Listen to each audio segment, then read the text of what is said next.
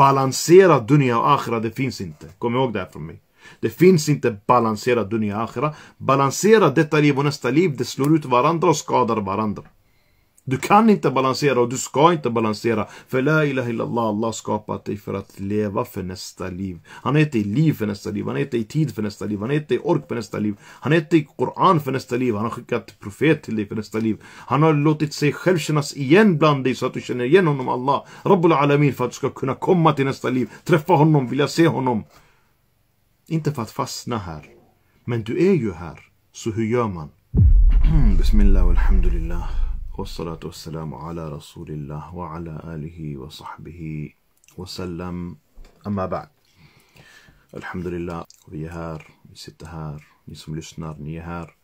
Oavsett om det är nu i liven eller om det är senare när man tittar på klippet så Alhamdulillah återigen en kväll eller sen eftermiddag eller vad vi nu ska kalla det. Med en reflektion och reflektioner med Ibn Sheikh. Välkommen. Vad jag ska prata om idag har som vanligt med våra liv att göra. Har som vanligt med vår vardag att göra. Det har med vår, vår prioritering att göra. Det har med våra livsval att göra. Jag ska prata om hur vi kanske bör tänka om vissa saker och ting i våra liv och hur vi faktiskt bör fundera över en och annan sak. För vad jag försöker göra när jag sitter här och pratar med er, rätt fritt, rätt öppet, utan, utan manus, utan riktlinjer, så är det först och främst för att få er att tänka, få er att fundera och få er att efter den här liven är slut få den här möjligheten, liven, informationen ni har fått in. Få den att få er att tänka själva ännu en gång om det vi pratat om efter vi har pratat igenom det. Så att, så, så att det berör någonting. Vi får inte hamna i, fall, i, i, i, i, i facket, i fällan, där, där vi lär oss för att kunna och aldrig för att göra. För då kan vi liknas med åsnan som har böckerna på ryggen. Den har också jättemycket kunskap på sig.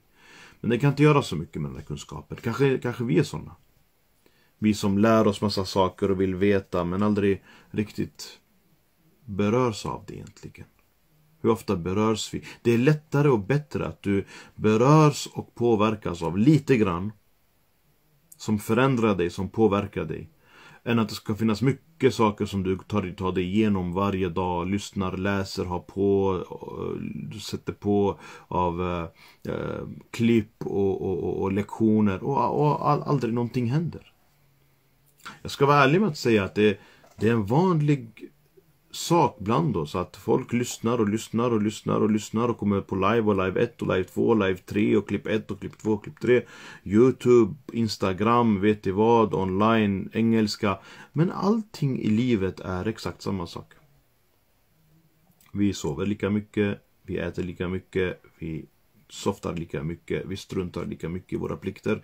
Vi faller lika mycket i våra tillkortakommanden, vi syndar lika mycket. Alltså undrar man till slut, vad, vad, är, det, vad är det här för, för, för kassettband som sätts på och stängs av hela tiden, dagligen, när vi lyssnar och läser och är med. Är, är, det, är, det, är det igen för att är det igen för att kanske hitta en gemensam nämnare eller att ha någonting att göra? Om det är så, då måste vi tänka om. Syftet är inte att ha någonting att göra. Syftet är inte att, att, att, att hitta någon gemensam faktor. Syftet är att bli bättre. Syftet är att... Varför lägger du den här tiden på att lyssna? Varför lägger du den här tiden på att uh, sätta på och, och, och vara med och, och, vara med live och skriva i chatten här? Varför? Du skulle kunna göra mycket andra saker som kanske är ännu bättre egentligen. Mycket roligare saker. Men du är här. Låt det då inte bli en cirkulation. Låt det inte bli en spiral av lyssna, sluta, lyssna, sluta. Utan låt det vara någonting som påverkar dig. Låt det vara någonting som ändrar dig. För att det här det här säger jag inte bara mina syskon för er. Det, det, här är för mig själv också. Det är inte som att jag sitter här och har perfekt liv och inga brister och inga bekymmer och inga saker att ta tag i och inga, inga, inga hinder, inga problem. Det, det är inte så det ser ut. Vi alla har våra, våra, våra, våra demoner som man säger. Vi alla har våra problem som vi handskas med. Och vi har alla så mycket att bli bättre på, så mycket att göra rätt, göra om. Att det inte går att räkna det nästan. Uh, därför så är det ju inte att man pekar på någon. Det är inte att peka på någon som det här handlar om. Det är inte att att, att förnedra någon det här handlar om. Det här handlar om att bli bättre, det handlar om att inse och det handlar om att faktiskt vara självkritisk. Så det jag ska prata om idag mina syskon, det är Omar ibn Khattab radiallahu anhu brukar det här tillskrivas.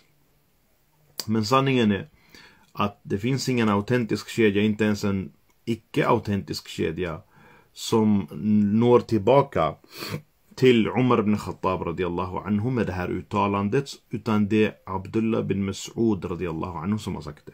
Den det har citerats från är egentligen Abdullah bin Mas'ud radiallahu anhu. Han är den som har sagt detta, dessa ord men det är känt och spritt. Jag såg senast en bild på det igår. Um, att den tillskrevs Umar ibn Khattab, det här uttalandet vi kommer att prata om idag.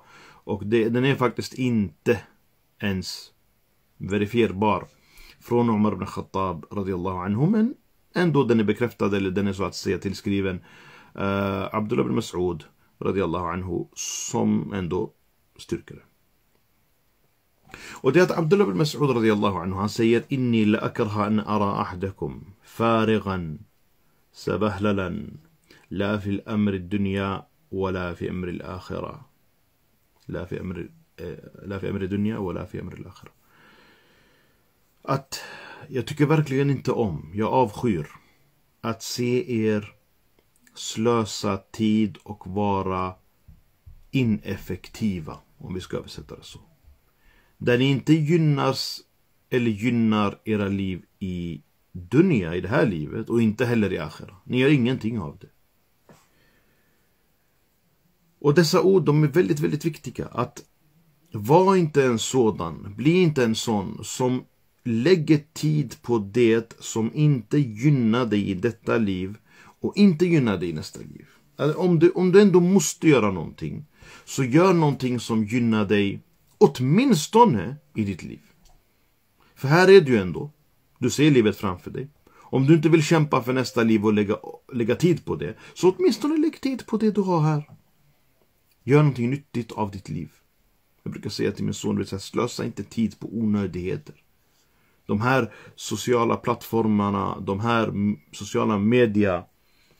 De, har ju, de, de, de är bottenlösa hål. De är formade för att just ta tid och fästa en person så att den inte kan sluta. Det sägs att det är därför som TikTok också heter TikTok. För att det tickar bort, TikTok, TikTok, tickar bort din tid. Och vips har du varit där i i, i, i fyra timmar, fem timmar, sex timmar. Jag tror det var en undersökning som gjordes och folk är där sex till åtta timmar om dagen. Puh. Vet ni vad man kan göra med de sex timmarna per dag? Man kan lära sig en hel kunskap. Man kan lära sig utveckla hemsidor och man kan lära sig att och, och, och, och, sälja saker. Man kan lära sig att bli en bra uh, coach. Man kan, man kan göra massa saker på de här sex timmarna. Så jag avskyr, säger Abdullah bin Mas'ud, att någon av er är färgen sabahlalan la fi amr dunya wala fi amr al-akhirah. Att ni är o, att ni är värdelösa, onyttiga, ineffektiva. Bara strör runt. Slösar tid med in och gör ingenting. Och varken gynnar ditt liv eller gynnar nästa liv. Och det här sägs också nu från mig i relation till sommarlovet. Många av er har sommarlov, många av er har uppehåll, många av er har kanske semestrar. Jag vet inte. Men det betyder att det öppnas en otroligt stor chans nu att göra någonting annat som är nyttigt för antingen detta liv eller nästa liv. Du ska vara produktiv, du ska vara nyttig, du ska vara, känna när du lägger dig att idag har jag utnyttjat den möjlighet jag har till att kunna göra någonting. Bäst av allt är för akhira, men åtminstone lite för Dunia, om inget annat. För att vara ingenting är värdelöst. Att vara ingenting är längst ner i kedjan. Du gör aldrig någonting, varken för dig i detta liv eller nästa liv. Du utvecklar ingenting, du lär dig ingenting, du påverkar ingenting. Du, du, du, bara, du bara glider. Men har, har ni tänkt på hur, hur, hur det här glidandet, att glida, man ska glida, chilla, softa, hur, hur, hur spritt det är och hur stort det är. Folk älskar att chilla bara. Visst, det är också en del av livet. Att man tar det lugnt. Att man slappnar av. Att man eh, åker på semester lite. Något sånt där. Du vet, man, man, man, man har det kul. Man, man, man, man, man är glad. Uh, men, men, men vi har gjort det till en vardagsvana. Vi ska varje dag chilla. Vi ska varje dag softa. Vi ska varje dag bara. Då hamnar vi i det här. Vi hamnar i det som är att slösa våra liv, slösa vår tid och inte gynna varken nästa liv eller detta liv. Al-Hassan al-Basri rahimahullah ta'ala, Al-Hassan al-Basri, vad sa han? Han sa att أدركت أقواما كانوا على أوقاتهم أشد منكم على دراهمكم Att jag har sett ett folk, profeten sallallahu alaihi wasallam sahaba. Jag har mött ett folk, sett ett folk som var ivrigare och noggrannare med sin tid att bruka och använda den än vad jag ser att ni är med att ta hand om eller sträva efter era pengar. Och om det är någonting som människan ändå tycker om världsligt så är det att, att tjäna någonting. Att slös, slösa pengar, antingen köpa och slösa pengar eller att få pengar. De här två sakerna älskar människan. Att slösa pengar eller att tjäna pengar. Det är någonting som kan ta väldigt mycket tid och det är någonting som kan ta mycket av ens liv. Men eh, Al-Hassan al-Basri säger att jag träffade ett folk, profeten sallallahu alaihi wasallam, sahaba som var noggrannare och mer effektiv med sin tid än vad ni är med pengarna. Det här betyder inte nu att, att man inte ska ha med pengar att göra. Det ska aldrig tolkas på det sättet och det är aldrig det det innebär. Vi ser i profetens historier, salam, att de har haft världsligt också i sina liv. Suleiman alaihi salam, Daoud, alaihi salam. Vi har sett sahaba som har haft förmögenheter, pengar, tillgångar. Abu Bakr radiallahu anhu, Uthman. Um, Abdurrahman ibn Auf, vi har lite sådana exempel. Som självklart inte ramlade från himlen eller var ett stort arv som alla fick. Utan de har kämpat sig till det. De har lagt tid på det. De har rest på vintern, på sommaren. De har offrat, de har hållit på. Men! De gjorde det också för en god anledning. De levde också efter att det här skulle bli någonting gott för dem. Så att de gjorde till och med det som är nyttigt i deras liv. Alltså det som är nyttigt och bygger upp deras dunja. Den här utbildningen, den här inkomsten, den här förbättringen, den här utvecklingen. Även om det skulle vara för någonting i dunja, någonting världsligt, så hade de det för Akhiras skull. Och det vill jag att vi ska tänka på, syskon. När vi säger det här, som Abdullah bin Mas'ud radiyallahu anhu säger här. Att var inte värdelös, varken nyttig i dunja eller nyttig i akhira. Så betyder det att åtminstone att vi måste vara nyttiga någonstans och göra någonting och använda vår tid så gott vi kan. Men jag ska vara ärlig med er och säga en sak. Att balansera Dunja och akhira, det är ingenting som går. Att vara medelmåttig med någonting så att det inte tar över dina plikter, dina skyldigheter, få dig att synda. Det där är en sak. Och ingenting i dunja någonsin omkring dig ska någonsin få dig att slarva med dina plikter. Ska någonsin få dig att hoppa över dina plikter. Eller få dig att hamna i de här synderna. Aldrig. Kom ihåg att det är viktigare att du håller dig borta från synder än att du gör extra handlingar. Och det är viktigare än att hålla sig borta från synder än att göra, att, att göra sina plikter. Så det första är plikterna, bönen, fastan, zakat. Om man har råd att åka på hajj. De här plikterna som är de fem pelarna av islam som vi känner till dem som inom. Det är det viktigaste av allt. Det finns ingenting som får gå över här. Och sen därtill andra plikter också som Allah och profeten har lärt oss att vi måste göra i vår religion. Det får aldrig någonsin hamna sekundärt. Det får aldrig hamna efter. Och sen när man gör de här plikterna så är det precis efter det lika viktigt att man undviker alla sorts synder, fel och brister. Hellre än att göra de där goda handlingarna och sen brista samtidigt. Det är viktigare, det är finare, det är större att undvika det som Allah förbjudit än att göra någonting gott som Allah älskar och, tycker om och önskar från dig. För att det är en av plikterna du har att undvika det som Allah förbjudit. Det är inte en plikt att göra det som, som inte är ett måste. Så om vi har den inställningen så ska resten vara med medelmåtta. Men jag vill säga samtidigt att den som pratar om att balansera Dunja och akhira. Balansera detta liv och nästa liv, det går inte att balansera. Abdullah bin Mas'ud radiyallahu anhu sa också, också detta uttalande att det finns ingen som bryr sig om sin dunja sitt världsliga liv och jobba på det. Förutom att han skadar en bit av den möjligheten han har i sin akhira. Och det finns ingen som kämpar och bryr sig om sin akhira, sitt nästa liv och kämpar för det. Förutom att han skadar eller gör sig av med en bit av hans dunja och möjligheter i dunja. Så det betyder att det går inte riktigt att balansera de här två. Det går inte att balansera. Du kan inte köra 50-50. Någonting av det måste finnas som kommer att ta över lite av det andra. Och vad väljer vi?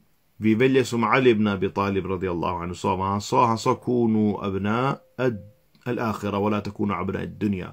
Var akhiras barn. Var de som lever för nästa liv och inte de som lever för detta liv. Så hur gör vi?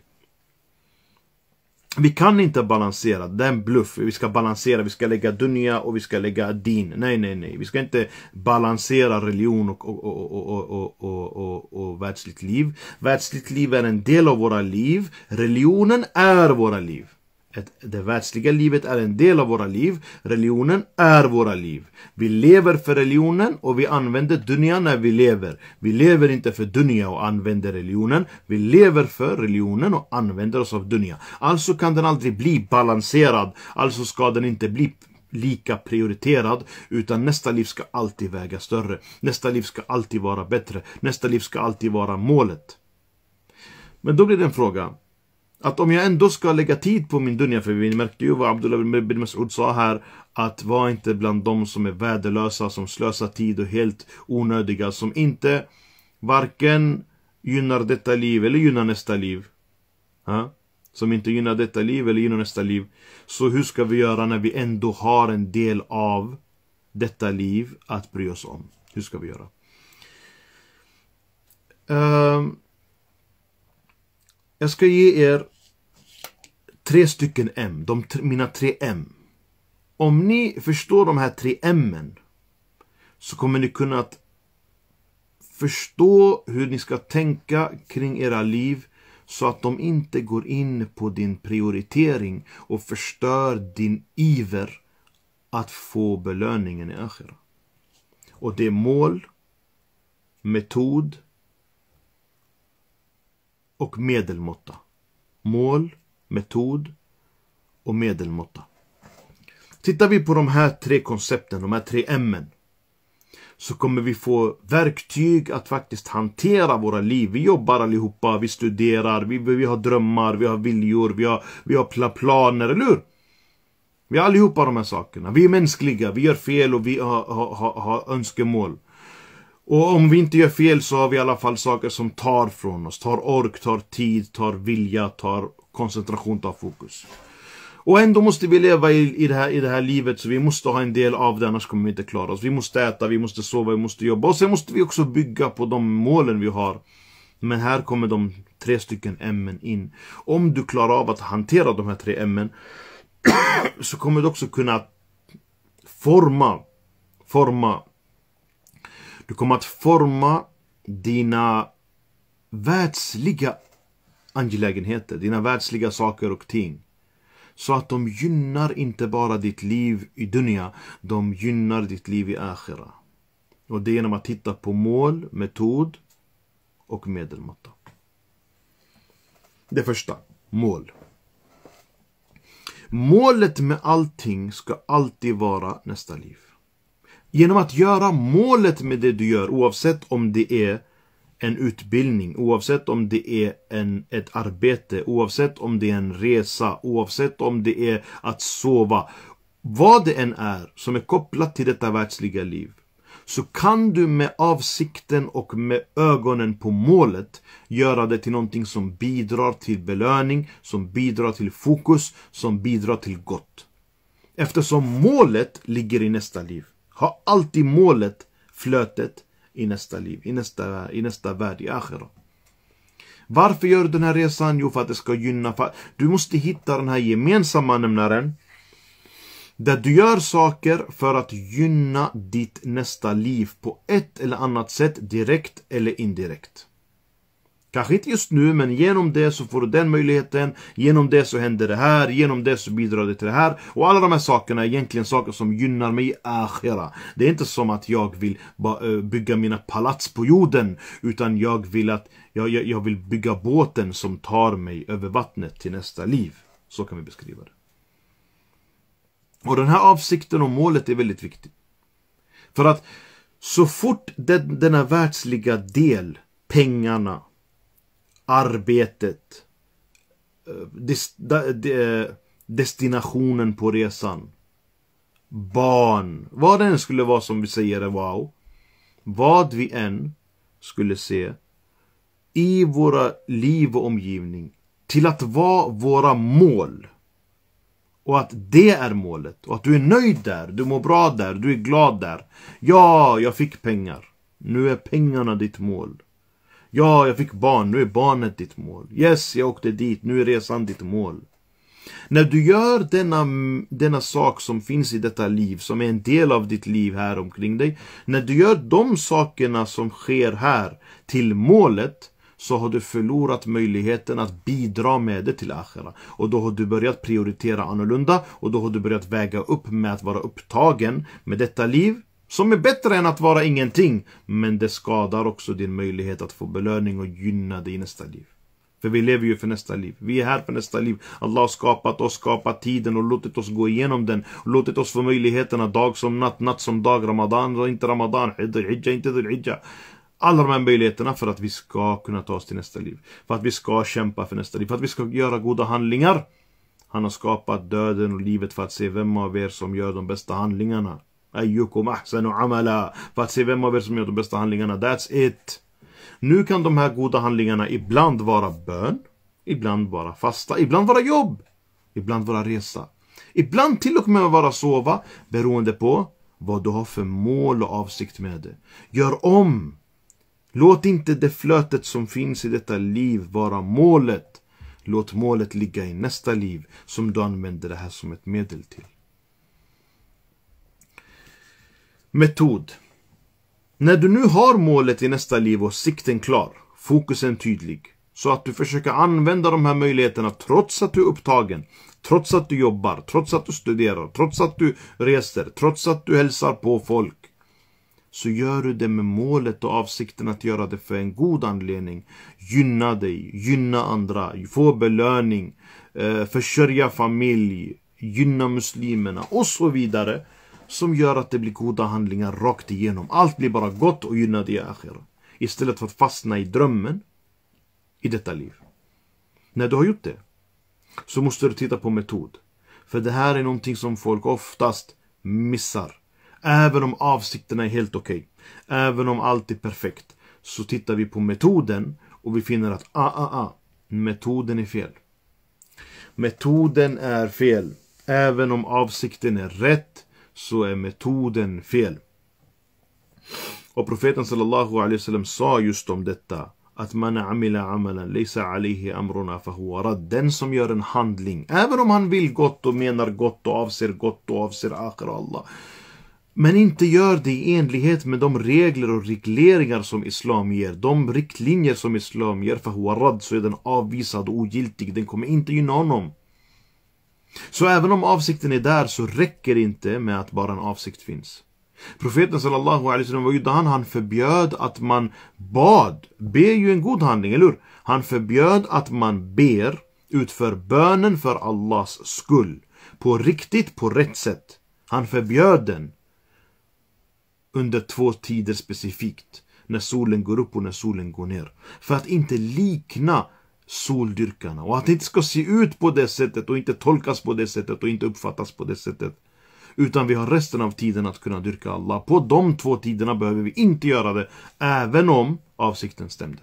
Avsikten var helt, stämd, helt rätt, han vill be till Allah. Men att be massa extra böner under de här två tiderna av eh, när solen går upp och när solen går ner där liknar eh, idoldyrkarna, liknar elddyrkarna, liknar soldyrkarna soldyrkarna, hur vi ska beskriva dem.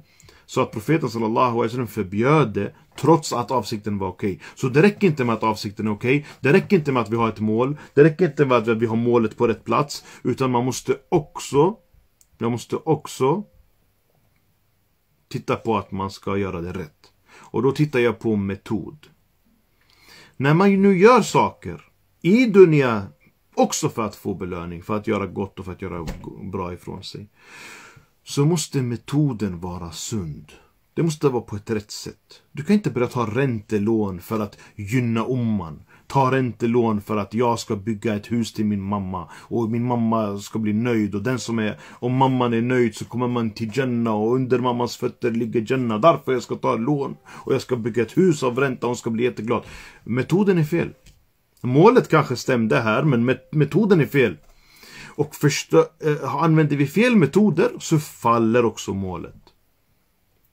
Använder vi fel metoder så faller också målet. Och det tredje av dessa ämnen är medelmåtta. Vad du än gör i livet, vad du än lägger tid på, vad du än aktiverar dig med med rätt mål, med rätt syften, med rätt tankar, med rätt prioritering och planering. Med rätt metoder, med rätt grunder, med rätt regler, med rätt lagbok. Så måste du fortfarande aldrig låta någonting sådant ta över dig och dränka dig så att du glömmer dina andra aspekter av livet också. För profeten sallallahu alaihi wasallam sa att Allah har låtit oss få uh, rättigheter över oss själva, rättigheter över våra familjer, rättigheter. Vi har rätt, folk omkring oss, vår religion, vi, du själv, familjen. Alla har rättigheter.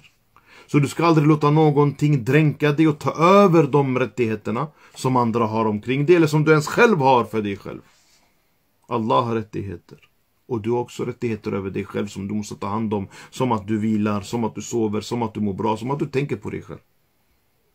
Det här får inte försvinna heller. Äh, hur bra vi än är, det får inte försvinna. Därför, om det skulle vara någonting som jag tänker på när jag, tänker, när jag säger medelmåtta. Så är det inte att ta det lugnt med bönerna, för det behöver jag inte säga. Det är ingen av oss som ber hela dagarna ändå. Vi, vi, vi ber extremt lite, extremt sällan. Vi ber extremt lite extra böner. Vi ber knappt våra obligatoriska böner. Vi har knappt våra plikter. Vi brister i allting, så det finns ingen medelmåtta där. Men det finns medelmåtta innan någonting annat av intresse, även, även om målet stämmer. Även om målet stämmer, även om metoden stämmer, även om allting är perfekt. Det krävs en medelmåtta. Så att inte det dränker dig och tar dig från alla andra sidor. Du vet, du vet när någon börjar bli så här upptagen med någonting och jättewow och så han glömmer bort allting. Han glömmer bort sin familj, han glömmer bort sina barn. Han, håller på med något, han säger jättebra. Det här är, jag har ju värsta målet, värsta planen. Det får aldrig dränka dig på det sättet att andra tar skada som också har plikter. Eller som också har skyldigheter. Och det får aldrig ta över dig så att du inte ser aspekterna av ditt liv och de sakerna som måste fyllas. Men! Var aldrig och försök att aldrig vara värdelös. För det är det Abdullah bin Mas'ud radiallahu anhu sa.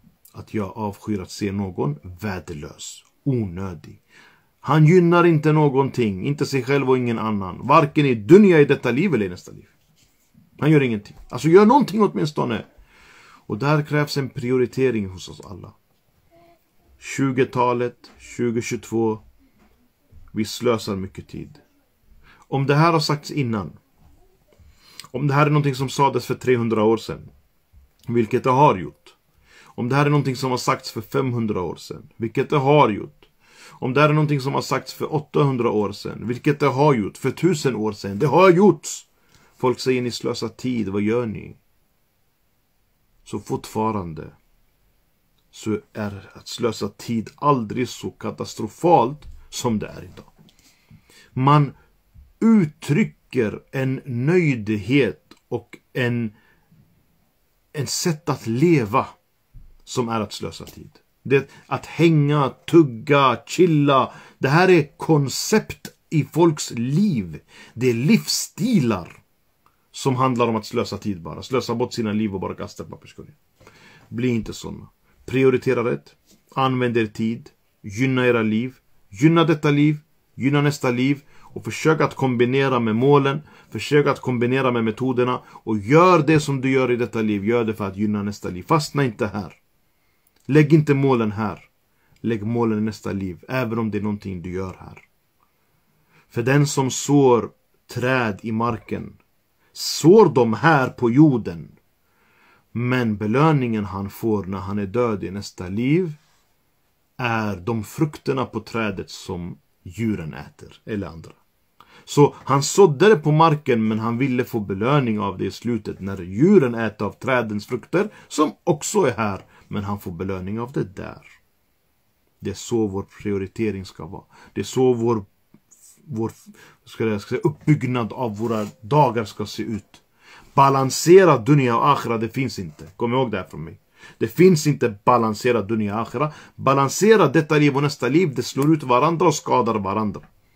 Du kan inte balansera och du ska inte balansera. För la ilaha illallah, Allah skapat dig för att leva för nästa liv. Han har gett dig liv för nästa liv. Han har gett dig tid för nästa liv. Han har gett dig ork för nästa liv. Han har gett dig Koran för nästa liv. Han har skickat profet till dig för nästa liv. Han har låtit sig själv kännas igen bland dig så att du känner igen honom, Allah. Rabbul Alamin för att du ska kunna komma till nästa liv. Träffa honom, vilja se honom. Inte för att fastna här. Men du är ju här. Så hur gör man? Mina tre M svarar på den frågan. Det här uttalandet från Abdullah bin Mas'ud svarar på den filosofin. Vad gör vi här när vi ändå är här? Jo, vi gör gott. Och vi gynnar oss själva. I dunya och i akhira. Med motivet att få det som belöning och gåva i nästa liv. Och jag avslutar här. Jag hoppas att det är någonting som ni tar med er. Jag hoppas att det är någonting som ni tänker på. Jag hoppas att det är någonting som uh, ger, ger inspiration och möjligheter att växa. Och jag avslutar här med orden att må Allah förlåta oss, ge oss möjligheter, öppna dörrar för oss. Skyla oss, skyla våra synder, förbise våra brister. Låt oss träda in i Jannah utan att ifrågasättas. Låt oss träda in i Jannah utan att bestraffas. Låta oss bli förlåtna och vara tillsammans så i Jannah, så som vi är här. وصلى الله على نبينا محمد وعلى آله وصحبه وسلم